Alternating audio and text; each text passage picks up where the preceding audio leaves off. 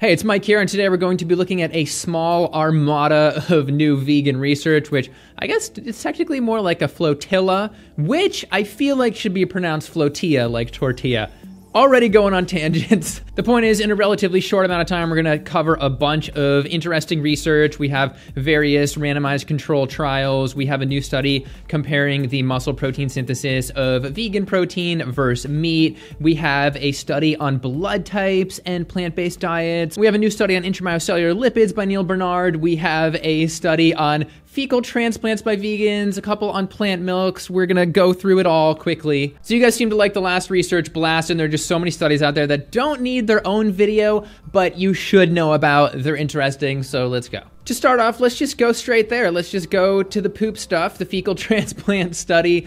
Uh, vegans have been known to create what can be referred to as brown gold, and I'm not talking about glacial soils talking about what has previously been referred to as night soil, actually. For those that don't know, a fecal transplant is when you take some fecal matter from a healthier host that has a healthier gut microbiome profile, and then you put it into the intestine of somebody who has some health issue. And that way you can get all of those good bacteria past the acid in your stomach, for example, and put it right where it needs to be. There have been some good results in the past, but this particular study looked at what is called steatohepatitis, which is under the umbrella of non-alcoholic fatty liver disease. So it is a inflammatory liver disease. The researchers say, quote, the intestinal microbiota has been linked to the development and prevalence of steatohepatitis in humans. Interestingly, steatohepatitis is significantly lower in individuals taking a plant based, low animal protein diet, which is thought to be mediated by gut microbiota. So they took the samples from what they described as lean vegan donors, gave it to the people with the liver disease, and the results were yes, it appears that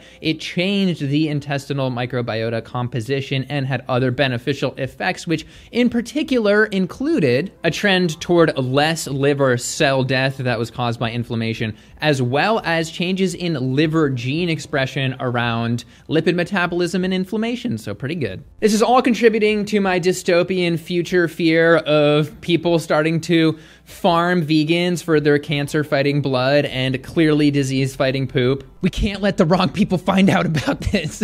I will not be enslaved for my poop. But really, it's amazing that we see these effects, but it's obvious that these people would be better off if they just maybe change their diet to naturally get those benefits and continue to get those benefits and probably other benefits. All right, time to dump that subject. Next is muscle protein synthesis.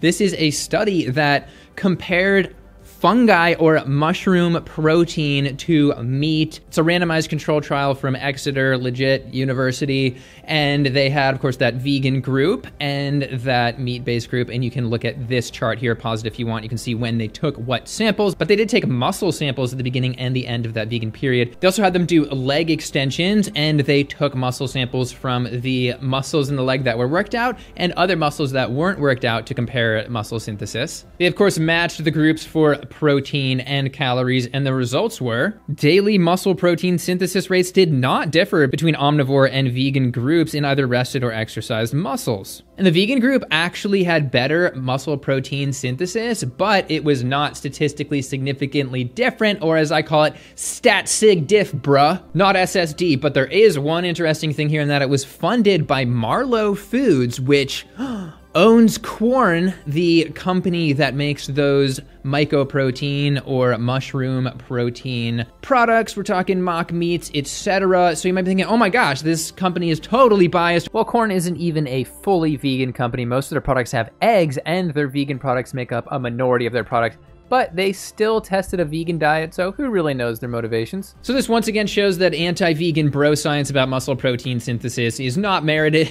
anyway, let's move on to Neal Barnard, who's been busy. He has two studies that we're going to talk about here, and his team, of course, they deserve credit. They're both technically the same randomized control trial, they just have different analyses, and the first one is the one on intramyocellular lipids and other markers, and it was a 16-week randomized control trial. Once again, intramyocellular lipids just means fat within the muscle cell, and there are many studies demonstrating that this can lead to insulin resistance through a complicated mechanism that I've talked about a lot. We don't need to get into in this video. Of course, insulin resistance is the root of type 2 diabetes, and the results of the study were that the low fat plant based dietary intervention reduced body weight, of course, energy intake, and increased postprandial metabolism they found a lowering in both liver lipids and those muscle lipids, the intramyocellular ones, and increased insulin sensitivity, the opposite of insulin resistance. So, of interest, they also lost 12 pounds and they also increased what is called the thermic effect of food. In other words, the food that they ate made them way hotter, way sexier. That was really what the study was about. I'm kidding, that's not what it means. It doesn't mean it's not true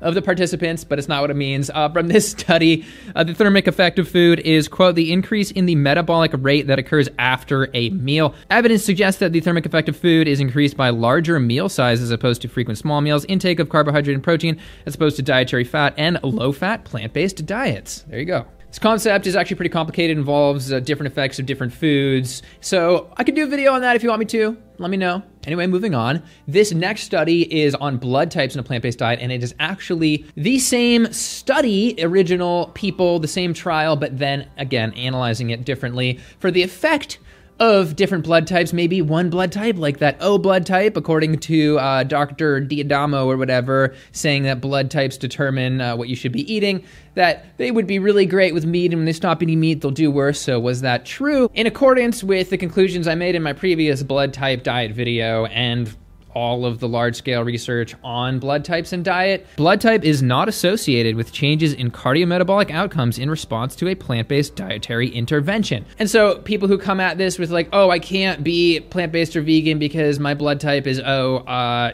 people are still clearly getting the benefits here, and the benefits include improvements in body weight, body fat, plasma lipid concentrations, and glycemic control. So, no, there weren't any lion people in this study that just couldn't handle those plant foods. Go home. So one of the criticisms of my last research blast video, probably by somebody who wasn't vegan, was like, "Oh, I don't include all the negative anti-vegan studies." Well, I did a whole video on that Epic Oxford Bone study, and so why not throw one in here that's at least cautioning vegans or putting it in a slightly more negative light, and that is this study on zinc and strokes.